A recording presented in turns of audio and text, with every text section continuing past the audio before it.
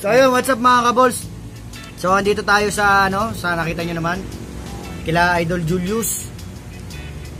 At kasama natin si Spider Doc, si Master Kadagit, ayan si Master Kadagit, tsaka si Tito Barako, ayan. Lalaban-laban kami ngayon dito, nagtitrip kami. Ngayon, ang namin kung nakita nyo sa thumbnail, yung Gagambang Japan, Lalaban natin sa good size natin na Tagalog kasi wala talaga tayong ibang panlaban. Ayang sa Moon, wala tayong padala eh. Walang, wala tayong modern. Ano, laki ano. Laki yung Japan. Ipakita natin sa kamay. Ayan oh. Nakita nyo ba kung gaano kalaki yan? Ayan. Nanakawin ko mamaya yan. game tayo, game tayo bro. Tingnan nyo kung ano ha, tingnan nyo kung paano. Paano kainin yung gagamba ko. Napakalaki no? Layo ng size dito ay sila. eh. Parang apo, tapos lolo sa tuhod. So, for the sake of the content. Ha? Hindi maabot yung mo. Sa mga viewers natin na hindi pa nakakita ng Gag- Gagambang Japan, ayan o. Live nyo makikita. Ito siguro TM to good size na tong Tagalog na to. Pero nagmukha siyang garapata sa ano, sa Japan. Pero wag kayong mag-alala mga kabols. Sigurado namang hindi to lalaro na maganda dahil ang laki ng Japan eh. Pero bibigyan ko kayo ng isang magandang laban. Maglalaban pa kami sa pangalawang laban ni Idol Julius. Ayun, wala to, wala talaga. Oh, hindi niya talaga kakayanin yan eh kahit sinong kahit sinong tumapat diyan eh. Oh. Pero kung gutom to, kain na to. Busog lang to idol eh no. Kakakain lang yun. Kakain lang. Oh, Busog lang. Nakakatuwa lang din kasi talagang ano paglaruin ito. Laki eh oh, grabe. Kita niyo ba sa kamay ko kung gaano siya kalaki? O nakita niyo yung ano, gaano kaliit. Laki. So, wala na to, wala na to mga kabols. So, maglalaban pa kami ng isa pa. Huwag kayong alis. At ipopost lang muna namin. Magtatapat muna kami ng Tagalog namin parehas. Yan. Mga OS siguro or good size. Paglalabanin namin. So, ayun. So, ayun mga kabols. Game tayo. Pangalawang laban. Ayan yung sa atin. Parang tigris na abuhin. Sa atin pula, botchog. Ayan. Labanan ng botchog oo, to. labanan ng botchog to. Labanan ng botchog. So, game tayo. Ay,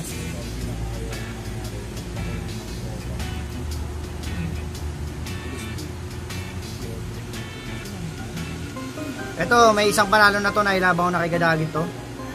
Tingnan natin kung lalaro pa. Uy, sumakmal parehas. Ganda ng laban oh. Ayun oh. Uy!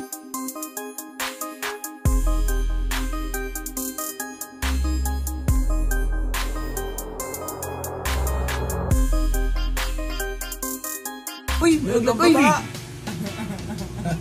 Mukhang tinalo tayo dun ah. Tapang naman ng pula na yun. Wala naman, hindi naman nagpang-abot eh. Yung pang-aulang hindi nag-abot. Walang abot. Uy, sumasakmal pa. Uy, bumaliktad. Matalbog oh. Bumaliktad yung ano, yung laban ah. Laban pa yan.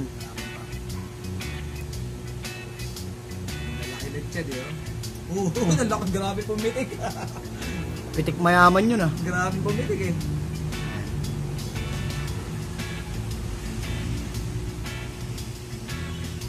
Yung sa akin eh. Ayun! Ayun! Ayun, patay, Ganda kagat sa payo sa akin, pero lumalaban pa rin. Oo. Ay, kagat sa payo sa akin eh, no?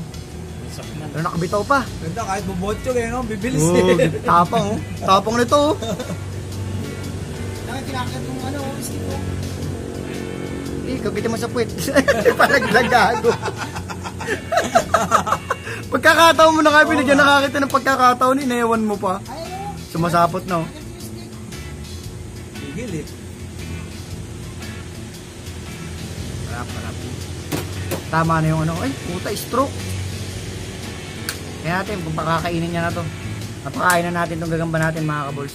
Pero ang ganda ng binigay nilang laban. Ganda. Talagang taas baba. Wala, stroke na oh. Naabot din sa akin. Ay, oh, wala na. May katis, ayun oh, may katis sa loob. May mo na, LBC mo na yan. Ano, okay na yan. Ayun ang mahirap sa mataba. Pagka nakakagat sa likod, wala na. Para may LBC tayo. Mas maganda yung may LBC. Yan, uy, bumibitaw pa. Bibitaw pa, bumabalik. Bumibitaw pa. Wala na, wala na, balat na yan. Wala na, inigot niya.